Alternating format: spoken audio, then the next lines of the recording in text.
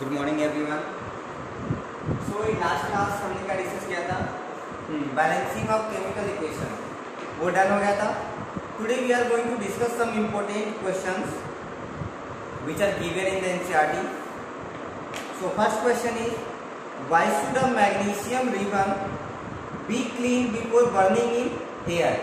यानी कि जो मैग्नीशियम रिबन है ना उसको बर्न करने से पहले हमें क्लीन करना पड़ता है। क्यों? तो आंसर तो आपको पता ही है। क्या है? Magnesium is a very reactive metal which reacts with the oxygen present in air when we take it out, when we take it out in the open atmosphere, जैसे मैं इसे बड़े को बाहर लेके आते हैं, वो इतना रिएक्टिव होता है, वो तुरंत रिएक्ट करके उसके ऊपर एक लेयर बन जाती है। किसकी? मैग्नीशियम ऑक्साइड की। तो हम क्या करेंगे उसका रिएक्शन कराने से पहले before getting it done in the reaction we will clean the magnesium ribbon with the help of a sandpaper ठीक है?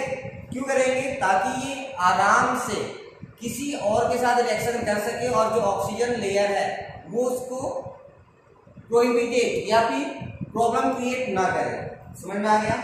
चलिए second write the balanced equation for the following chemical reaction पहला क्या दिया है?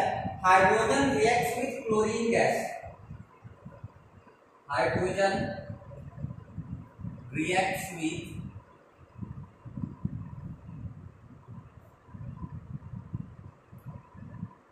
chlorine gas.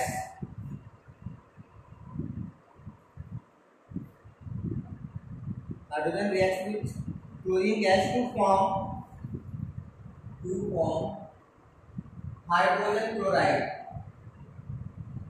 To form hydrogen chloride. देखिए, क्या दिया हमें हाइड्रोजन हाइड्रोजन क्या है? गैस है ना सो एच टू सिंस ये गैस है क्या लिखेंगे? जी reacts with chlorine gas so ये भी मॉलिक्यूल में किस करता है Cl2 gas to form hydrogen chloride actually hydrogen chloride is the second name of hydrochloric acid and the formula is HCl ठीक है? हमें क्या लिखना है? इसका बैलेंस केमिकल इक्वेशन लिखना है? देखिए, ये बैलेंस है। ये हाइड्रोजन H. दो एटम है यहाँ पर तो सिंगल एटम है। सो ये विल मल्टीप्लाई 2 ये बन गया, देखिए। हाइड्रोजन के दो एटम क्लोरीन के दो एटम ये जो हाइड्रोक्लोरिक होगा, ये भी कैसा होगा? गैस नहीं होगा। हाँ लैब में जो मिलता है वो एक्वस होता है, लेकिन ये क्या होगा? गैस होगा। क्यों? क्योंकि देखिए, ये भी गैस ये भी गैस दो गैस कंबाइन होकर क्या बनाएँगे? गैस बनाएँगे। समझ में आ रहा है? कुछ छोटी छोटी चीज़ें आप ध्यान में रखेंगे जैसे कि जब हमें सॉलिड रिप्रेजेंट करना होगा तो हम एस लिखेंगे। लिक्विड के लिए एल एक्वस के लिए ए क्यू गैस के लिए जी प्रिसिपिटेट के लिए भी सॉलिड या हम पीपीटी लिखते हैं। या हम ये वाला सिंबल यूज़ करते हैं। गैस के लिए ये वाला सिंबल यूज़ करेंगे। एक्वस अब हमें समझना है कि एक्वस क्या है? हीट के लिए। कई बार ऐसे डेल्टा लिखा हुआ मिल सकता है। ठीक है? या फिर एनर्जी लिखा हुआ मिल सकता है। और कई बार तो हीट भी लिखा हुआ मिल सकता है। अगर ये डेल्टा एनर्जी या हीट इधर प्रोडक्ट साइड में लिखा हुआ है, इसका मतलब the reaction taking place is exothermic हमें हीट रिलीज़ कर मिल रहा है। यानी रिएक्शन हीट को रिलीज़ कर रहा है। So this will be exothermic अगर यही डेल्टा हीट एनर्जी यहाँ पर या इसमें लिखा हुआ है then it will be endothermic reaction में है? चलिए देखिए।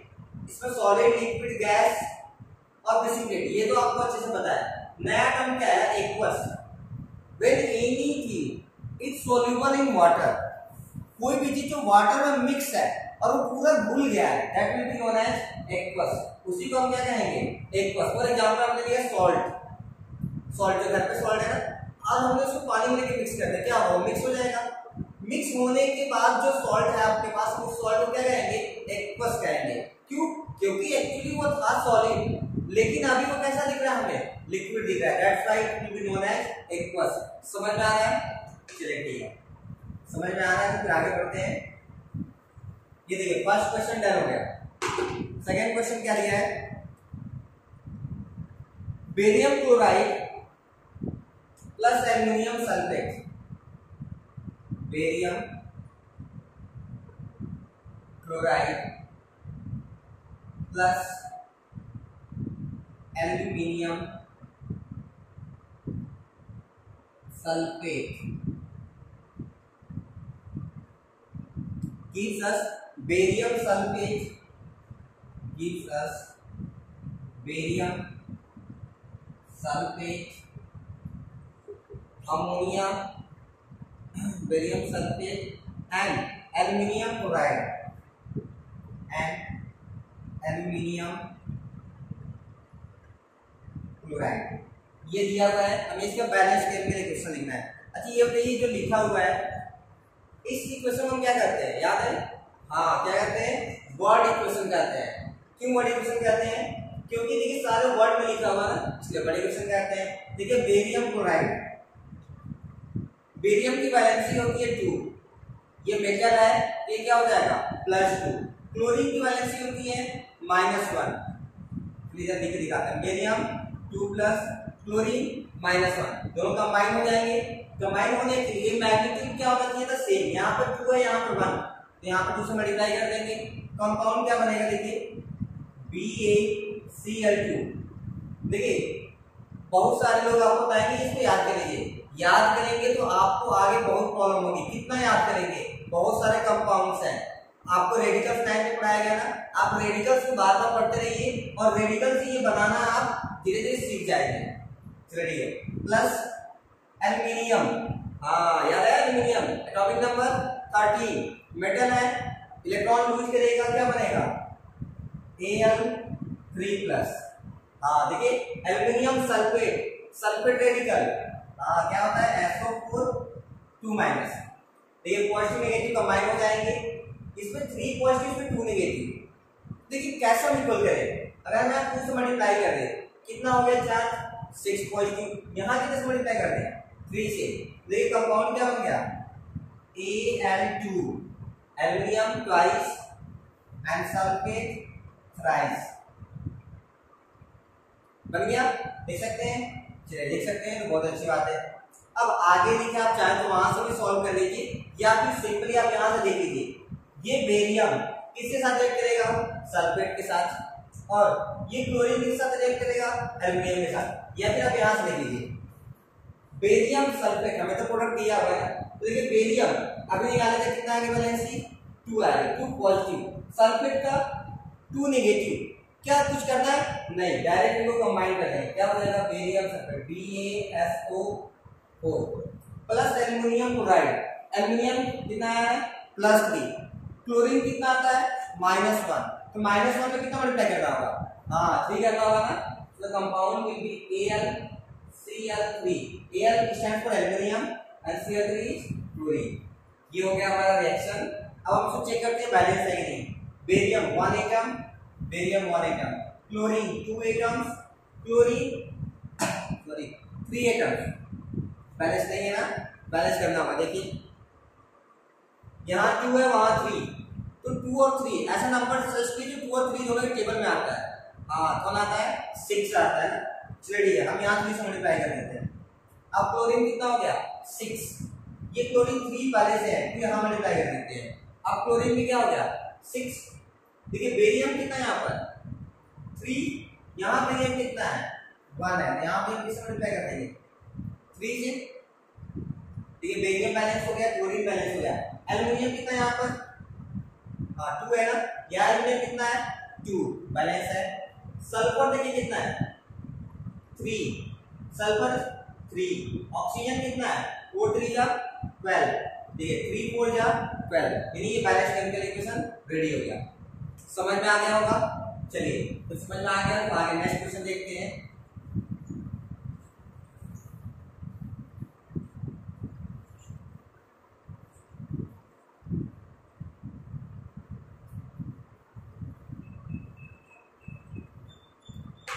और next question is sodium water sodium plus water it means when sodium reacts with water.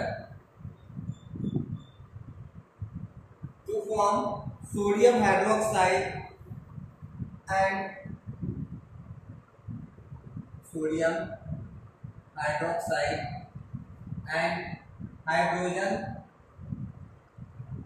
gas देखिए सोडियम क्या लिख सकते हैं हम? एन सोडियम क्या है? मेटल है ना? ये क्या हो जाएगा? Solid water water H two किस फॉर्म में किस करता है? ये तो बच्चा बच्चा जानता है। Liquid next one is sodium hydroxide अब देखिए सोडियम एक इलेक्ट्रॉन लूज करके क्या बनाएगा? Na प्लस हाइड्रोक्साइड जो रेडिकल है, वो क्या होता है? वो H माइनस होता है? ये देखिए single positive single negative combine हो सकते हैं। तो कंपाउंड का फॉर्मूला क्या बन गया? NaOH sodium hydroxide plus hydrogen क्या है? हाँ हाइड्रोजन क्या है? गैस है। गैस है ना? तो गैस को क्या लिखते हैं? H2 गैस है तो G लिख दीजिए अच्छा सोडियम हाइड्रोक्साइड ये तो मेटल था, यानी सॉलिड था। किसमें बोला आपने? लिक्विड में ना? तो वो भूल गया। क्या बन गया ये? हाँ एक्वस बन गया। समझ आ रहा है? ये sodium solid water liquid sodium hydroxide aqueous and hydrogen gas अब देखिए आगे। बैलेंस है या नहीं? सोडियम एटम बैलेंस है? हाइड्रोजन नहीं बैलेंस नहीं है। क्यों नहीं बैलेंस देखिए number of atoms two number of atoms one and two three हम इसको पहले बैलेंस नहीं करते, हमने अपना हाइड्रोजन तो सबसे लास्ट में। तो कैसे चेक करेंगे ऑक्सीजन ऑक्सीजन कितना? वन ऑक्सीजन कितना? वन ऑक्सीजन तो पहले से ही बैलेंस है। फिर चलिए बैलेंस करते हैं। अगर हम यहाँ टू से मल्टीप्लाई करते हैं हाइड्रोजन में। ठीक है? तो देखिए क्या बन गया। हाइड्रोजन कितना हो गया? फोर टू तो यहाँ पहले से ही है। टू यहाँ पे मल्टीप्लाई कर देंगे। क्या हो गया? फोर अब चेक करिए। सोडियम एटम वन है। सोडियम एटम टू है। यानी अब हम यहाँ पे मल्टीप्लाई करेंगे थ्री से। अब देखिए सोडियम भी टू हो गया। सोडियम टू हो गया। हाइड्रोजन फोर हो गया। Two and two four oxygen check करिए टू है। ऑक्सीजन कितना है? टू है। अभी बैलेंस हो गया। समझ आ गया? चलिए, समझ आ गया। तो बहुत अच्छी बात है। नेक्स्ट देखते हैं।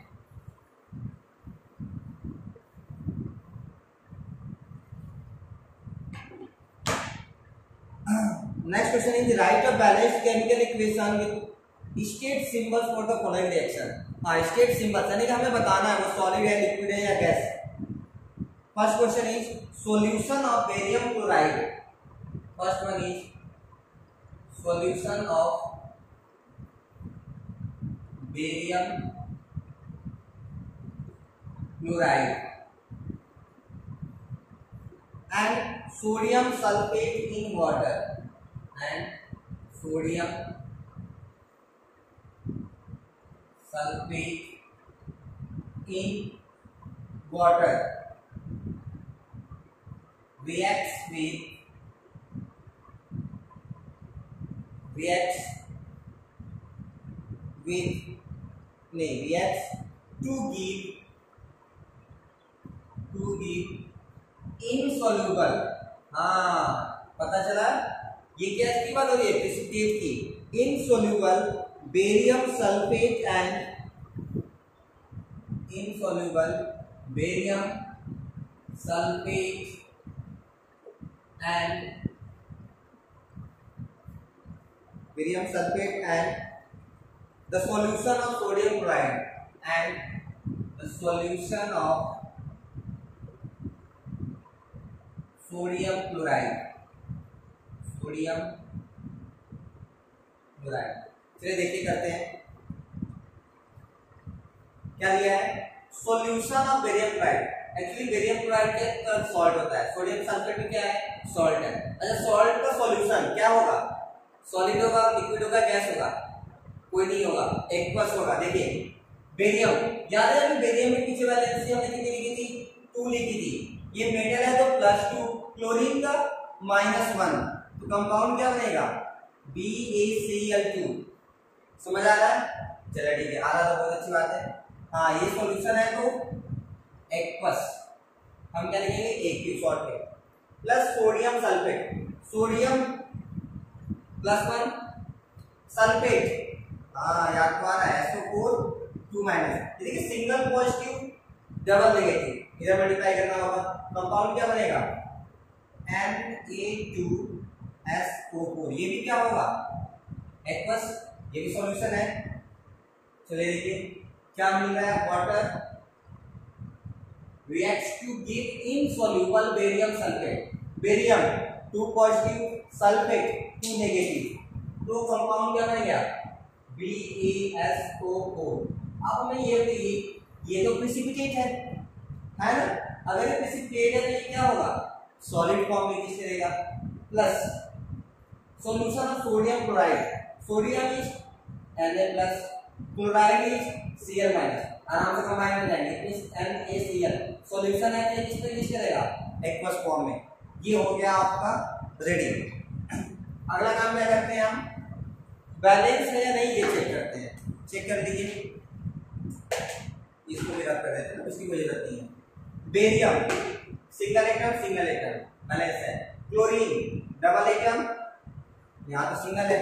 हैं क्लोरीन बैलेंस हो गया. अब देखिए sodium two atoms sodium two atom balance sulphur one atom sulphur one atom oxygen four atom oxygen four atom ये देख लीजिए, पूरा बैलेंस है। ठीक है? चलिए तो ये हो गया हमारा आंसर अब आगे बढ़ते हैं।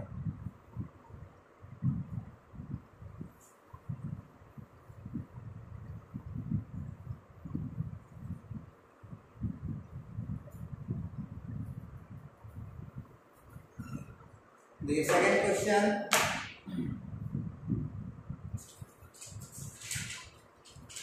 हाँ क्या दिया है। Sodium hydroxide solution in water लिख देते क्वेश्चन देखिए। Sodium hydroxide solution in water आगे क्या दिया देखिए।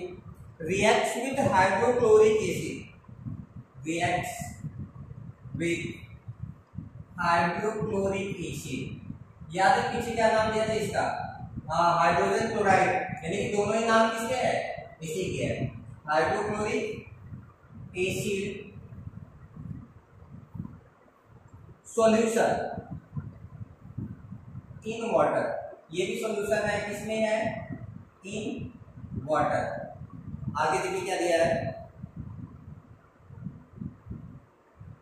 In water to produce sodium chloride solution to produce sodium chloride solution in water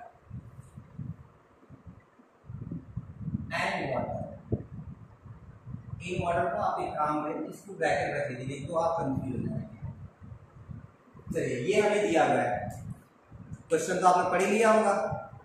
उम्मीद है समझ में भी आ गया होगा क्या दिया है? सोडियम हाइड्रोक्साइड का सॉल्यूशन किसमें है? वाटर में है। अच्छा ठीक है, सॉल्यूशन वाटर में किस फॉर्म में एग्जिस्ट करता है? हाँ एक्वस अच्छा सोडियम हाइड्रोक्साइड फॉर्मूला देखिए लगाना सीखते हैं। सोडियम, अभी निकाला था हमने Na प्लस हाइड्रोक्साइड रेडिकल है OH माइनस कंपाउंड क्या बन गया? N A O H solution in water है तो क्या होगा ये? Aqueous plus react with hydrochloric acid HCl hydrogen देखिए H plus chlorine Cl minus combine हो जाएँगे HCl बनाएँगे. ये भी सॉल्यूशन इन वाटर यानी ये भी क्या होगा? एक में सी होगा। समझ में आ रहा है? आगे देखिए क्या बन रहा है? To produce sodium chloride sodium plus one chlorine minus one सीधे कंपाउंड बनाइए NaCl किसमें है? वाटर में, यानी कि एक्वस प्लस क्या बन रहा है वाटर बन रहा है वाटर H2O चल वाटर क्या होता है? तो लिक्विड ही रहता है। वाटर थोड़ी एक्वस बन जाएगा। चलिए बैलेंसिंग देख लीजिए। Sodium atom one sodium atom one oxygen one oxygen one hydrogen one two hydrogen two chlorine one chlorine one ये तो ऐसी बैलेंस है। हमें कुछ करना ही नहीं है। ये हो गया सॉल्व चलिए, एक, दो और छोटे छोटे क्वेश्चन दिए गए हैं, देखिए। A solution of a substance X is used for white washing. हाँ घर पे पुट्टी होती है ना पेंट करने से पहले, जब प्लस्टर वगैरह हो जाता है घर को वो जो व्हाइट वॉशिंग होती है, वो क्या होता है एक्चुअली वो हम बता रहे हैं आपको क्या होता है। दैट इज़ क्विक लाइन क्या होता है वो? क्विक लाइन याद है, पीछे पढ़ा था हमने? हाँ जब एक्जोथर्मिक रिएक्शन देख रहे थे तो हमने क्विक लाइन पढ़ा था ना। क्या होता फॉर्मूला बताइए? कैल्शियम ऑक्साइड यानी कि सी ए ओ होता है। कैसा होता है ये? सॉलिड होता है। और देखिए, ये तो हो गया। आगे क्या दिया है? Write the reaction of the calcium oxide with water हमें इसका रिएक्शन लिखना है किसके साथ? वाटर जो किसमें होती है? लिक्विड होती है। अभी तो देख लेते हैं हम। चलिए, याद आ रहा है? जब कैल्शियम ऑक्साइड को वाटर में हम डिजोल्व करते हैं। ये कैसा रिएक्शन होता है? एक्सोथर्मिक रिएक्शन होता है। कंपाउंड क्या बनाता है ये? स्लेट लाइन यानी कि कैल्शियम हाइड्रोक्साइड बनाता है। तो ये भी बना के दिखा देते हैं, कैसे बनेगा? कैसा होगा ये। एक्वस होगा प्लस हीट इस हीट लिखने का मतलब क्या हुआ? बता सकते हैं? हाँ। यानी कि एक ऐसा रिएक्शन है एक्सोथर्मिक रिएक्शन है। यहाँ तो समझ आ रहा है थ्री कंपाउंड बना देखते हैं। कैल्शियम याद है topic number twenty, two, eight eight, two. यानी लास्ट में दो इलेक्ट्रॉन आएँगे तो नेट करके क्या बन जाएगा? टू प्लस हाइड्रोक्साइड पे सिंगल माइनस टू से मल्टीप्लाई करेंगे यहाँ पर। देखिए कंपाउंड क्या बन गया? सी ए ओ एच का ट्वाइस कैल्शियम हाइड्रोक्साइड बना सकते हैं। हाँ ये छोटी छोटी चीज़ें हैं जो आपको आनी चाहिए। एक और छोटा सा क्वेश्चन है, देखिए। Why is the amount of gas collected in one of the test tube double amount of the amount collected in other name this gas ठीक है, ये छोटा सा क्वेश्चन है, एक अमाउंट बताना है। अगर हम वाटर गैस को इवापोरेट करें तो क्या बनेगा? देखिए हाइड्रोजन गैस और ऑक्सीजन गैस ये वाटर क्या हमारी लिक्विड है। यहाँ पर हम जल इसी में रिप्रेजेंट करेगा हीट को। हम इसको हीट करेंगे तो गैस बनेगा। It mean this is endothermic reaction चलिए हाइड्रोजन क्या होगी? गैस, ऑक्सीजन भी क्या होगी? गैस। होगी ना? ठीक है। तो ये बैलेंस है या नहीं? नहीं बैलेंस तो नहीं है। दूसरा मल्टीप्लाई कर लीजिए नाम चूज़ कर लीजिए अब बैलेंस हो गया। अब देखिए, मेरे पास अगर दो मोल वाटर है, ध्यान समझिएगा। अगर मेरे पास टू मोल ऑफ़ वाटर है, ठीक है? तो हमें क्या मिलेगा? Two moles of hydrogen gas और क्या मिलेगा? ये कितना है? वन है ना? And one mole of oxygen gas ये छोटी सी बात आपको समझ आ रही है? नाइन्थ में पढ़ा था लॉ ऑफ़ डेफिनेट प्रोपोर्शन याद आ गया होगा ना? अब देखिए, इसका जो रेशियो है, क्या है? टू इज़ टू वन क्या है? टू वन तो आप ऐसे देख लेते वाटर है ना? एच टू ओ तो हाइड्रोजन का रेशियो कितना होगा? टू ऑक्सीजन का वन यानी कि अगर मेरे पास दो मोल हाइड्रोजन होगा तो वन मोल ऑक्सीजन चाहिए। अगर मेरे पास दो मोल वाटर है तो उसमें दो मोल में हाइड्रोजन गैस होगा? लेकिन एक ही मोल क्या होगा? ऑक्सीजन गैस होगा? मोल कौन दिखा रहा है? ये नंबर बात समझ में आ रही है? अगर समझ में आ रही है तो आप हमें ये बताइए अगर हम इस वाटर को वेपराइज करके दो अलग अलग टेस्ट ट्यूब में स्टोर करें? एक में हाइड्रोजन गैस दूसरे में ऑक्सीजन गैस ठीक है? तो आप बताइए कि दोनों टेस्ट ट्यूब में जो गैस होगी, उसका अमाउंट सेम होगा या डिफरेंट क्या कहा आपने? डिफरेंट हाँ सही, बिल्कुल सही. डिफरेंट होगा. क्यों डिफरेंट होगा? क्योंकि हाइड्रोजन गैस तो उसमें डबल आ रही है ना? और कौन ज़्यादा होगा? हाइड्रोजन गैस ज़्यादा होगा. कितना? दो गुना ज़्यादा होगा. समझ में आ गया होगा? तो और कोई क्वेश्चन नहीं है। बाकी हम नेक्स्ट डे से नेक्स्ट टॉपिक स्टार्ट करेंगे और उसके बाद फिर ऐसे डिस्कशन करेंगे। टिल दैट आप सब कॉपी कर लीजिए। एक बार बुक उठा के पढ़ लीजिएगा। ये सारे एनसीआरटी के सॉल्यूशंस थे। Thank you